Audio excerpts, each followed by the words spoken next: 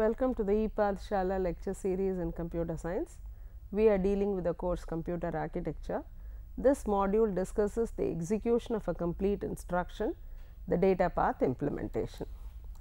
So, the learning objectives are to discuss how an instruction gets executed in a processor and the data path implementation using the MIPS architecture as a case study.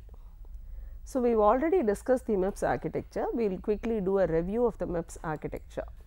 So, the MIPS architecture looks at a 32 bit byte addresses aligned, it uses only load store uh, instructions and with displacement addressing for memory operations.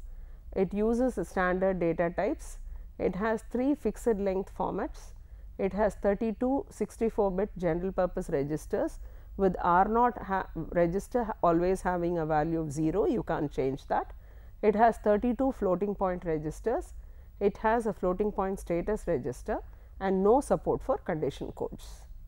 And if you look at the addressing modes, there are only 3 addressing modes supported. You have immediate addressing, you have displacement addressing used for load and store instructions for memory related operations and it uses a register mode or register addressing for ALU operations. Recall that the um, MIPS architecture is a load store architecture or a register register ISA where all arithmetic operations can be done only on register operands and load and store are the only instructions which can involve memory operands. So, if you look at data transfer instructions, you have a load store word, load store byte, half word, signed as well as unsigned.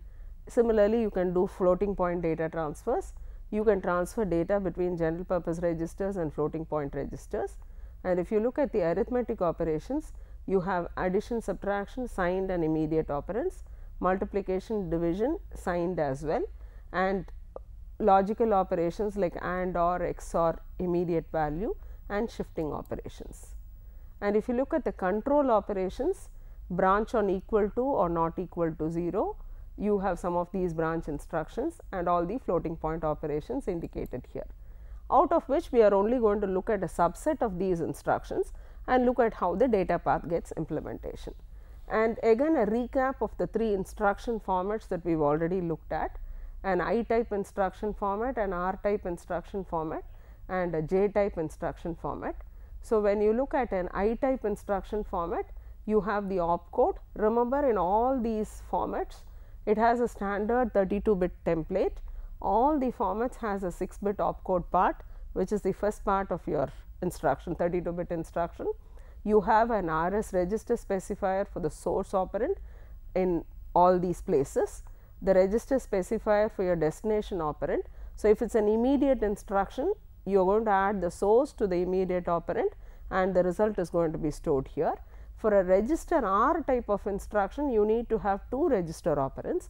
So, RS is one register operand, RT is another register operand and because you have 32 registers you need 5 bits for all these register specifiers. This is the destination register. It is a for example, it is an add R1 comma R2 comma R3. So, two source registers and one destination register. This is used for special functions like shifting and all that this specifies the ALU operation which we will discuss later on. And if it is a jump instruction again it follows a 32 bit format, it has a 6 bit opcode in the same position and it has a 26 bit offset value which will have to be added to your PC after doing a, a shift of 2 bits. So, these are the standard formats that we are going to look at when we look at your MIPS instruction set. And we will examine two MIPS implementations so, first of all we look at a simplified implementation of the MIPS instruction set and then we look at a, in a later uh, discussions we look at a more realized, realistic pipelined version. And we look at a simple subset which shows most of the aspects of what we are trying to cover. So, we will only look at memory reference instructions load and store, we will look at arithmetic operations like add, sub, and or OR and we look at control transfer instructions which branch which is a branch on equal to or a jump. These are the three different types of instructions that we look at. So, when you look at any instruction execution, you know that these are the steps involved in any instruction execution.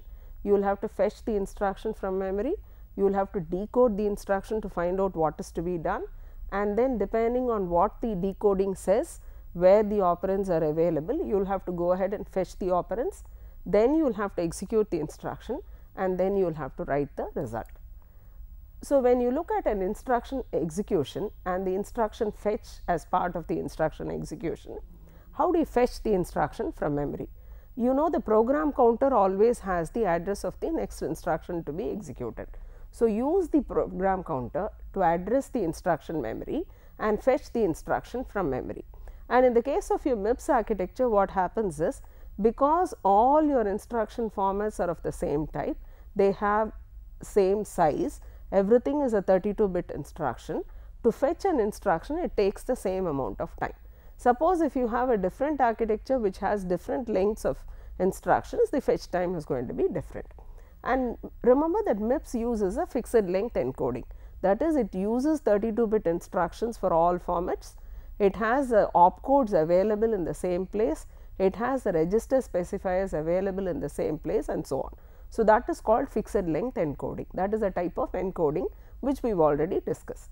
Now, because of this fixed length encoding and the registers being available in the same position, now as the decoding of the instruction takes place, you can also look at the register specifiers, use the register specifiers and go ahead and read the registers from the register file. And the register numbers indicate the register specifiers are indicated in the register numbers and go ahead and read the register file.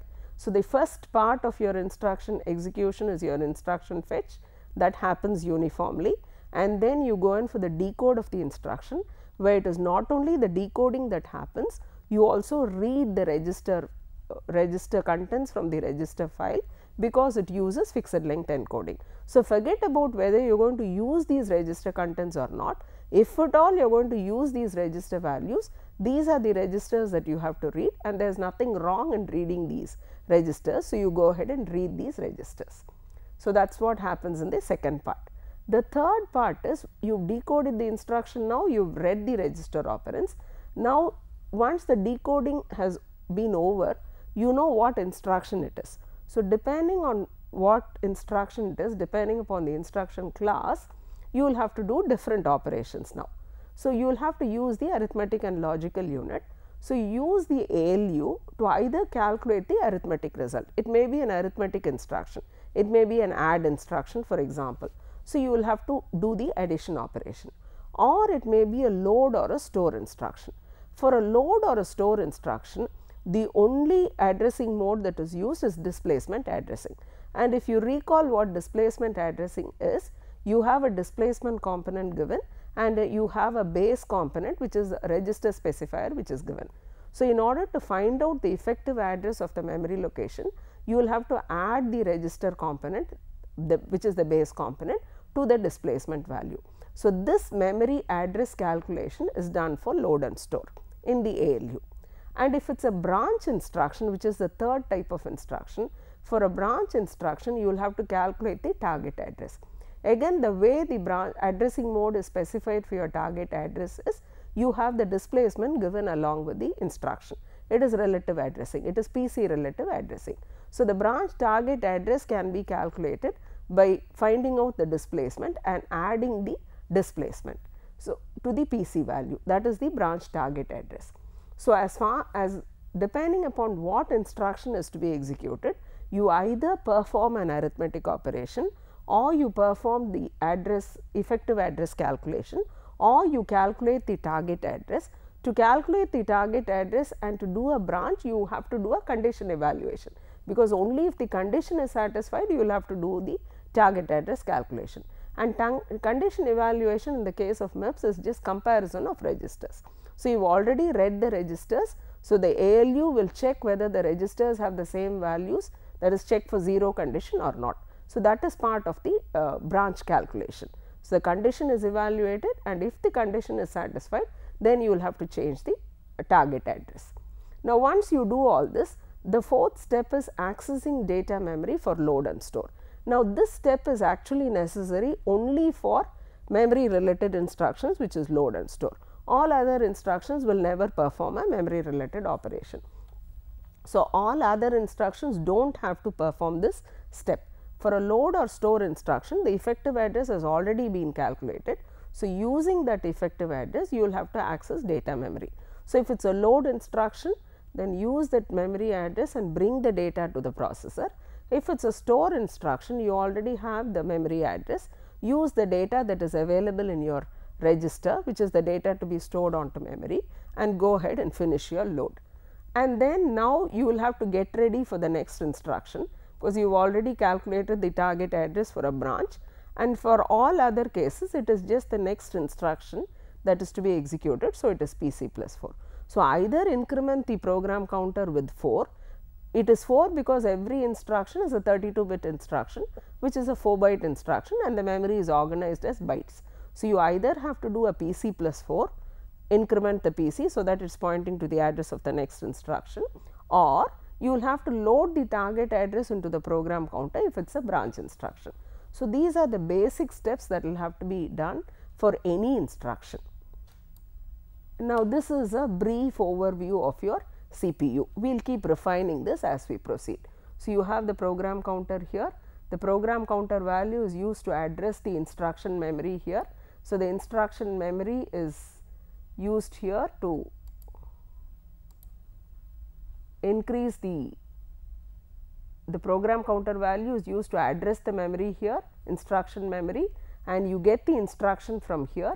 So, this instruction is used to is decoded here once you decode it you have the register specifiers available. So, read it from the register file and store it here. So, this is the register file you store all the register values here and then you go ahead and do the other operation. So, it passes on to the ALU unit for arithmetic operations and then it passes on to the data memory for uh, your load or store instructions and then you have to pass on the result if it is a load instruction. And as far as this part is concerned, the PC value, the incremented PC, the current PC value has to be given here. You have to add 4 to this to get the incremented PC value or if it is a branch instruction, use this PC value and the target address the displacement value that you have here has to be added here and that gives you the new target value which will have to be loaded into your program counter. Now, if you look at the earlier diagram, this is your primitive flow diagram where we have just indicated it by means of points here.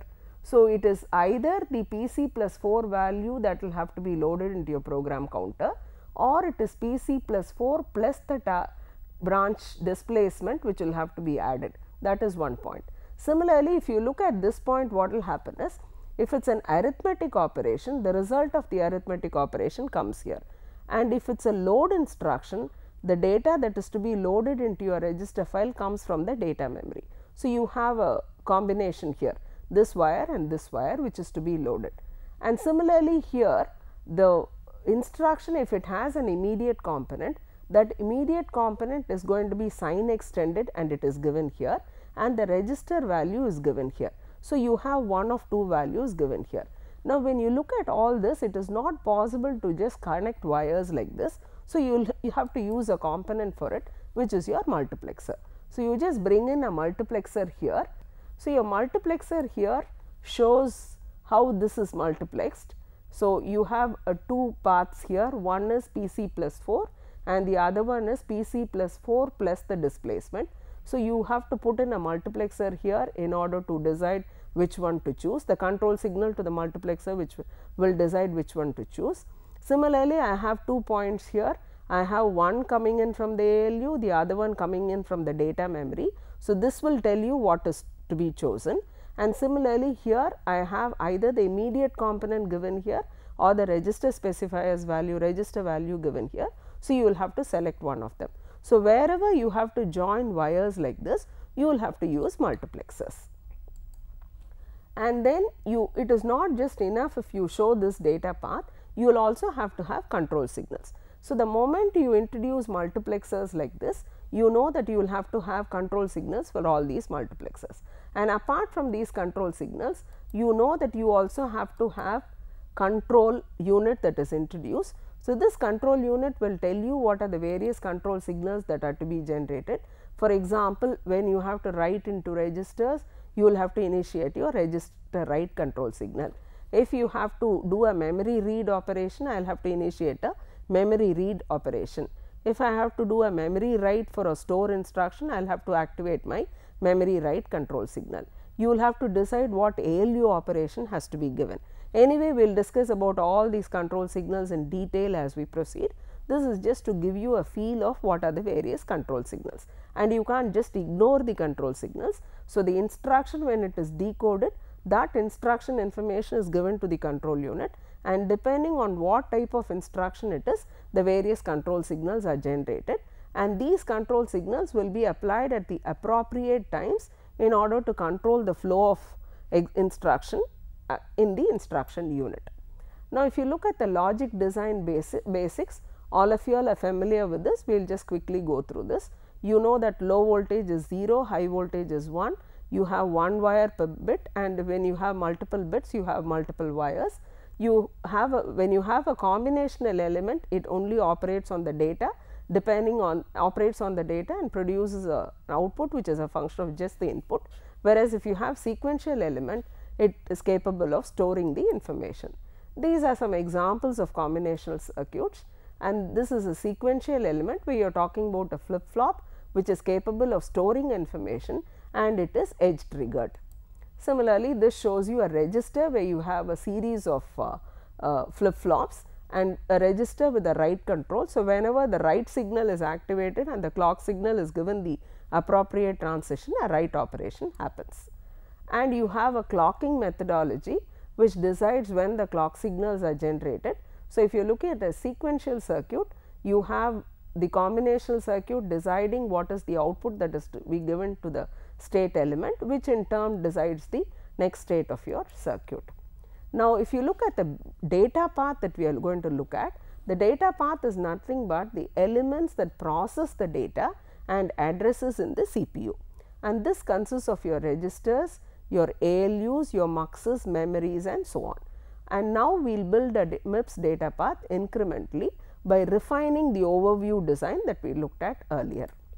So, look at your instruction fetch. So, for an instruction fetch, PC is a 32 bit register. So, use this PC, give the address to your instruction memory, get the instruction and as part of your instruction fetch operation, also take your PC value, add 4 to it, so that you get the next address. So, this is part of your instruction fetch fetching your instruction and also appropriately incrementing the program counter not accounting for branches for the time being I am just always incrementing it by 4.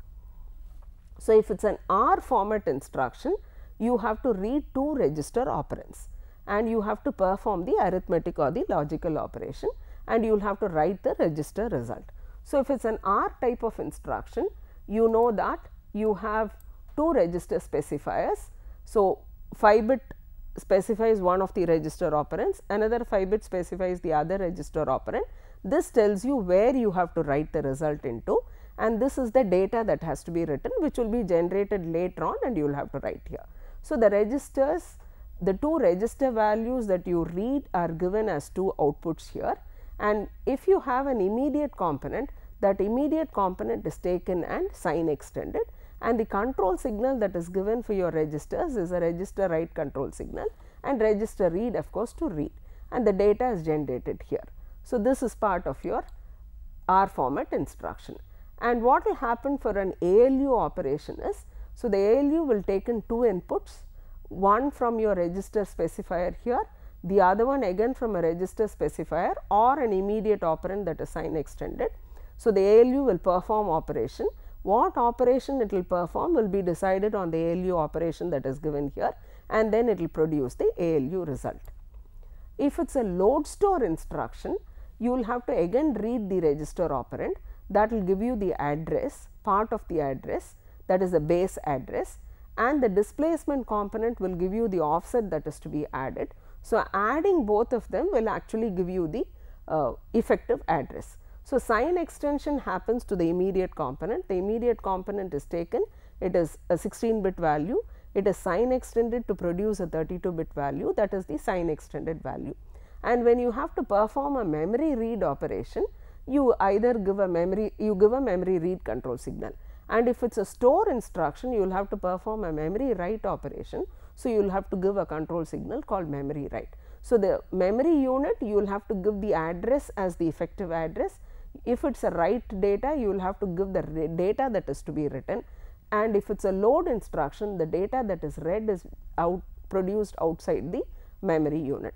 So, this is what happens for a load store instruction. If it is a branch instruction that you will have to handle then you again have to read the register operands and you will have to compare the operands. In the MIPS architecture recall that you are not using condition codes, registers are just compared to find out whether they have the same content or different content. So, it is just checking for 0, checking whether they have the same values or different values.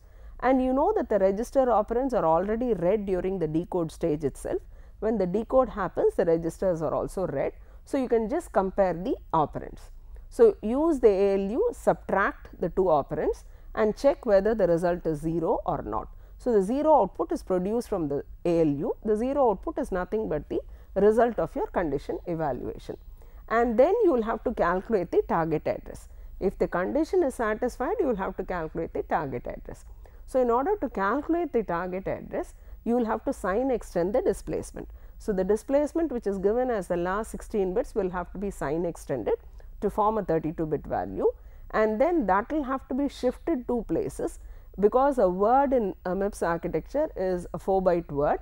And in order to support the word displacement alignment of a word you will have to shift it left by two places and then add the PC plus 4 value. You already incremented the PC to PC plus 4.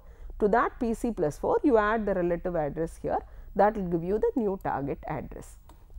So, this is the indication that is given for your branch instruction. So, you find that this is the base address that is read, the displacement value is given here, the displacement value sign extended here and that sign extended value is given to this unit. It you do a shift left operation and then you do a shift left operation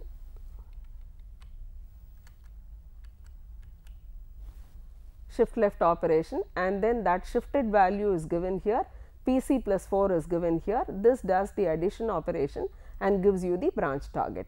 Now, it is either this branch target or the PC plus 4 value that will have to be loaded into your program counter. The shifting operation just reroutes the wires that is all. The sign bit, the sign extension is nothing but the replication of the sign bits and the ALU operation, the ALU unit here decides whether the comparison of the two registers is the same or not the 0 condition is satisfied or not. Now, if you look at the elements that compose the data path unit, you will have to understand that the data path executes one instruction in one clock cycle. So, you have multiple operations that will have to be done for every instruction and all of them if you assume that they happen in one complete clock cycle. Now, each data path element can only do one function at a time. So, you can't expect it to do multiple operations and hence we cannot use a same functional unit to do multiple operations. So, we need separate instruction and data memories. For example, when you are looking at instruction fetch, you are going to use the instruction memory. When you are doing a load store operation, you are going to use the data memory. So, you can't use the same memory for both instruction fetch as well as data fetch or data store. So, you need to have separate instruction and data memories. You cannot use the same functional units and remember that you will have to use multiplexers wherever alternate data sources are needed for different instructions. So, this is the data path for your R type load and store instructions. So, as I indicated earlier you have the instruction coming here the instruction gets decoded and based on the instruction getting decoded uh, you will have to that will go to the control unit and decide the various generate the various control signals.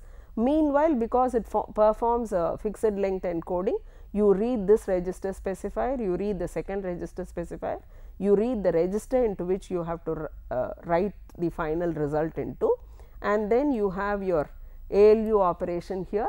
So, one register specifier is given here, register value is given here.